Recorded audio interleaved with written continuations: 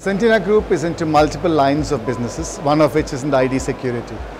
The main purpose of our business is to look at how we can contribute back to the society. Each of the verticals look at that and primarily how we can transform people's lives. And uh, transforming people's life for us starts from starting it in our own organization. So building leaders has been a passion for me and most of our CEOs today of each of the verticals have been homegrown. So they have been with us for more than 20 years, most of them.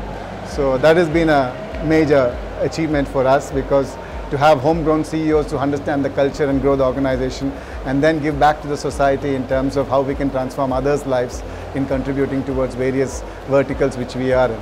So we are in five different verticals that helps in the marine field. We can transform the marine life. We are into life and analytical sciences, which is transforming lives of common people in terms of quality of food, quality of air, all those aspects of it. We are into the oil and gas segment. We are into the education field. We are also into, uh, in terms of hands-on, how we can help kids learn knowledge rather than, uh, you know, allow them just to uh, memorize and reproduce in terms of uh, subject matter. So there are a lot of aspects which we get into in terms of how we can, all are of course in the science and technology field.